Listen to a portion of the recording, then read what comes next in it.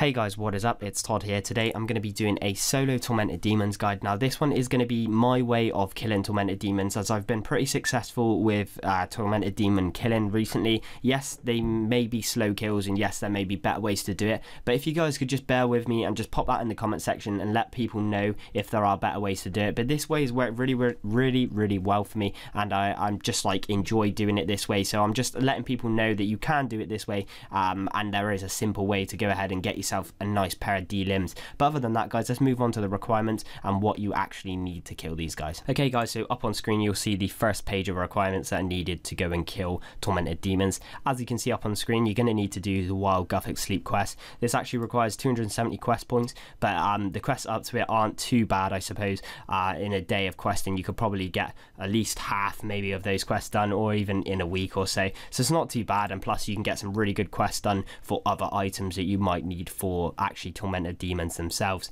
Armor that you're going to be using is War Priest. You can usually get this from around about one hour or two hours of actually killing God Wars monsters. Bandos, Zamorak, Saradomin, or Armadyl all count now towards actually getting those War Priest uh, pieces but do be wary it does just vary on your amount of luck within the god wars dungeon so it could even take longer than that but it is definitely suggested to actually get uh, efficient kills at tormented demons beast of burden is what i take. I usually just take a pack yak. You can take healing familiars or even steel titans but this is my like my tactics to killing some um, tormented demons. So once you get better you can maybe take a steel titan or an iron titan or whatever you fancy. But i take a beast of burden. I take my pack yak um, just to bank items and generally just keep keep my trips extended to that one hour worth of overloads.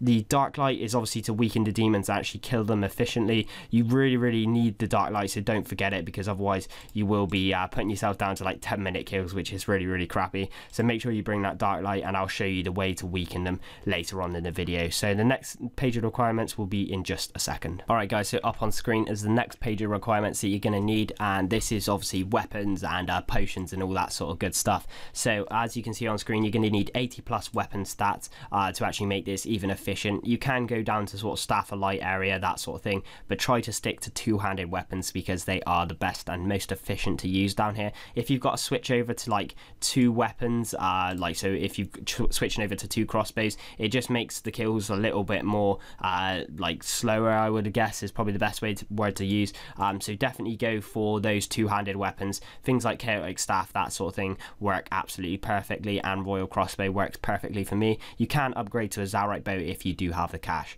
Stat boosting potions, overloads, extremes, and supers work really, really well. Uh, however, you can choose not to use them and just wait until you get overloads. Overloads obviously boost all of the stats that you're pretty much going to use throughout the kill, so it does make it more efficient. But you could bring those stat boosting potions if you so wish.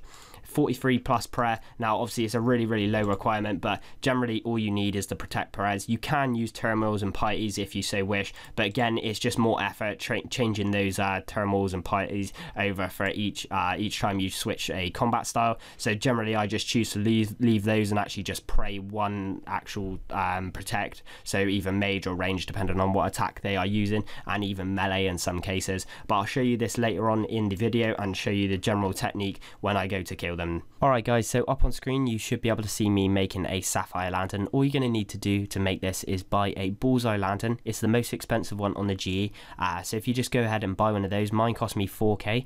Grab yourself a cut sapphire, which you can also just cut a sapphire down or buy one off of the Grand Exchange. If you use the cut sapphire on the bullseye lantern, it will actually exchange the lenses and give you a lantern lens. Once you've got that, uh, you're basically ready to go and you can just light your lantern. Next clip is going to be showing you guys how you can get two Tormented Demons with your Sapphire Lantern and all your gear ready to go. Okay guys, so firstly let's talk about my setup. Now in my setup you can see that I've got my War Priest on, I've got myself an amulet which is the Dragon Rider amulet. This can be switched out with a Fury or whatever you choose to use. Uh, Fury or Dragon Rider or Glory are absolutely fine. A cape of some sort, skill cape gives you uh, uh, crit critical bonuses in each combat style that you will be using, so that probably be best to go for. If not, a team cape type gives you critical bonuses in all skills. Uh, I think it's 1%, so it's pretty decent. Um, go for a ring. Sixth-Age Circuit is the best one to use. Berserker Ring next. Um, you can use a Seer's Ring or an Archer's Ring, but just go for the Berserker's Ring or the Sixth-Age Circuit.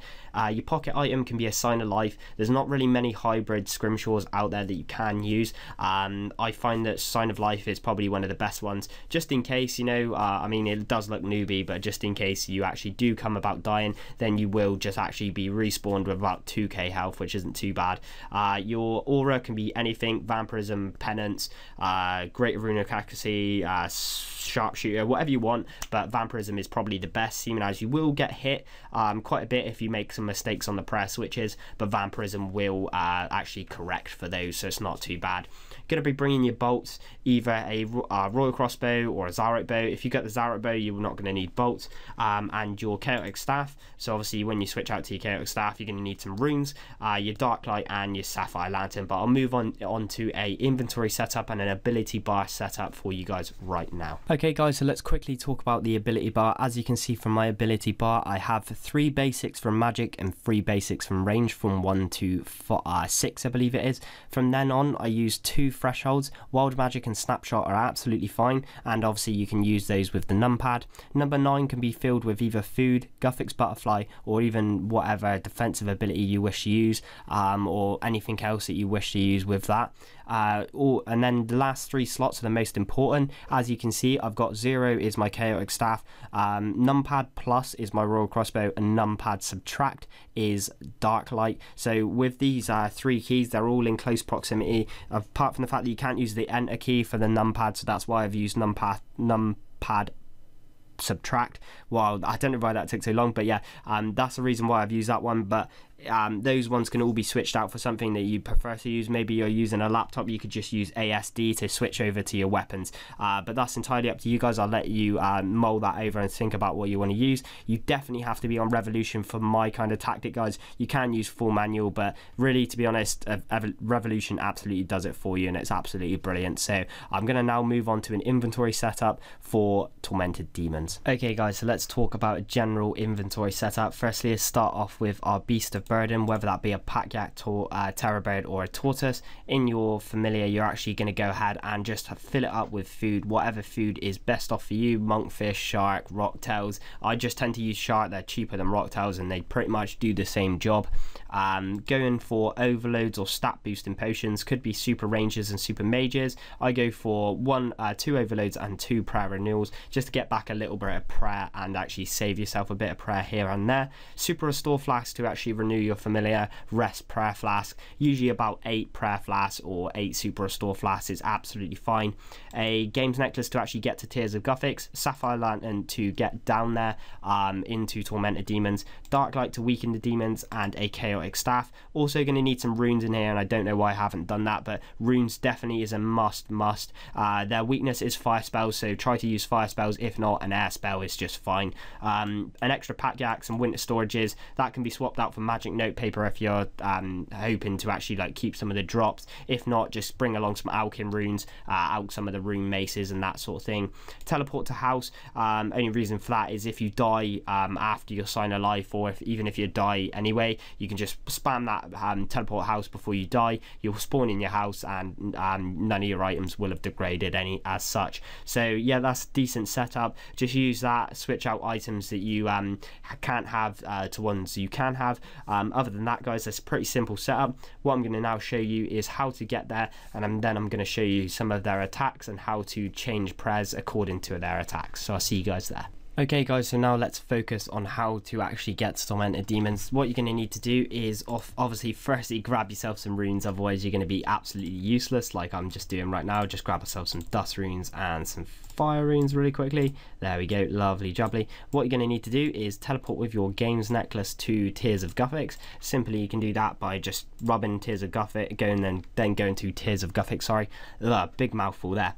Uh, once you're at Juna, all you need to do is just run around this corner here and up towards the blue little light creatures. All you need to do there is use your Sapphire Lantern that you built earlier on in the guide uh, against one of the light creatures and go into the chasm. Once it's uh, come over to you and it's picked you up, it will drop you down the chasm. Once you're down at the bottom of the chasm, I'll meet you guys there and tell you what you need to do to prepare yourself to fight tormented demons.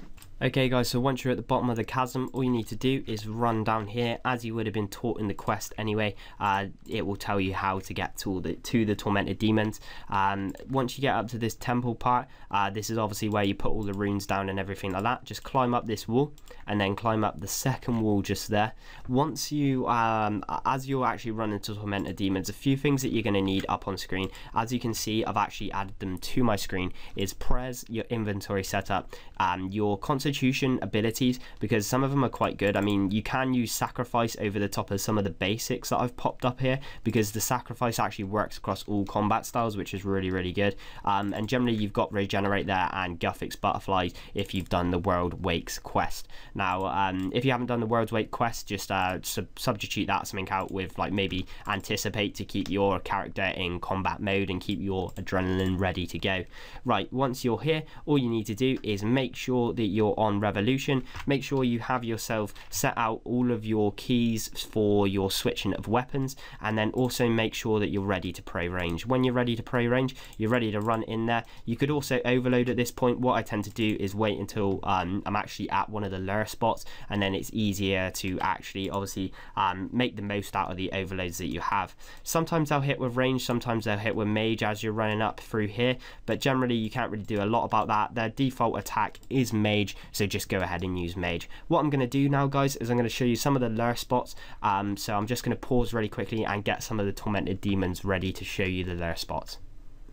Okay guys, so up on screen you can now see the three general Tormented Demon lure spots that you can use on this side of the uh, temple. Now I, I tend to use this side of the temple, it's much easier. If there's somebody here, just world hop, be nice and just let them uh, have that world and just go to a different one. What they'll tend to do is what you've seen there, they do a mortar attack every so often. That's to make, uh, that's just saying that you're a pussy and you should come out. But um, just go ahead uh, with that mortar attack, there's not a lot you can do, you'll get hit by it, whatever. But as you can see, three lure spots and three different ways to kill them. This first lure spot here, if I move into this area here, I'll just pray mage so I don't get attacked by this guy. This will actually lure this guy into the spot. So if he's walking down from where my mouse is now, which I'll zoom into, he'll actually get stuck behind this pillar. All you need to do is just walk into this area here and just stand there and that will get him lured into that area there if you've got managed to actually get lucky and get this guy here, all you need to do is he'll spawn in this area between these two pillars here, which I'll make a box around. Uh, what he'll do is he'll just walk down to here, and a nice way to actually lure him is just to stand in this little area here, and that will get him lured right into the middle. This will also get these two stuck in here so they can't attack you. If you want to kill this final one over here, best thing for you to do is to run right over it into here and into this gap. If you have uh, that one right there attacking you, the only thing that you can do is stand close. Be wary, you will get attacked by melee, range and mage, so you have to do a lot more switching. Right now guys, what I'm going to do is talk about the attack styles and how you can actually, um, how you actually know when one's going to attack with range and one's going to attack with mage.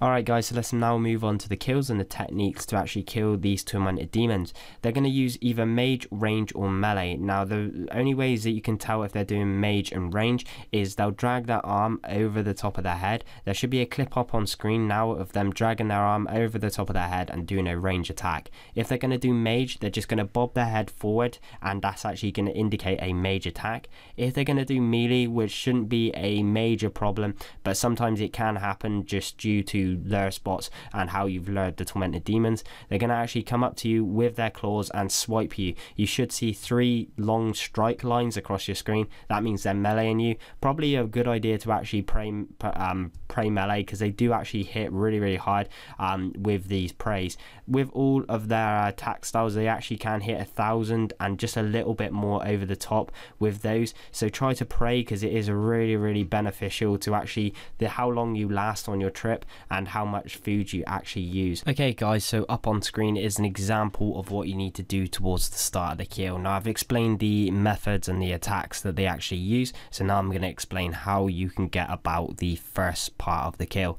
Now generally what they're going to do is have a shield around them. You need to get rid of this shield. The only way that you can do that is because they are protecting melee and you have a mage and a range attack style, you'll have to either use the crossbow or the chaotic staff to actually get this protect from mage off. Usually it's about 500 life points and then you can change that protect prayer so you can use your dark light. Once you've used your dark light you can just resume as normal and as you can see up on screen. Hopefully that made sense to you guys. If not there'll be a little uh, like sort of note on the side of the screen just explaining those steps through and you guys can just follow those.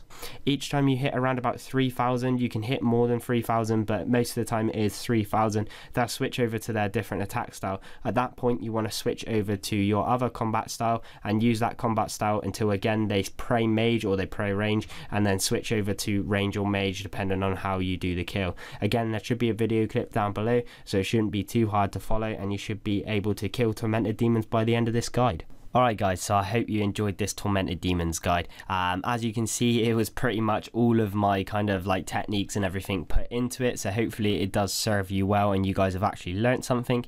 If you want to know any more about the luring or anything like that on the other side of the temple and on this side of the temple a little bit more, check out a guide in the description. It's done by Uzi Plays RS and his guide is absolutely fantastic um, and this is probably going to be an absolute shambles compared to his, but uh, nonetheless, I hope you guys learned something. Have a great day, whatever you're doing, guys, and happy RuneScaping as always.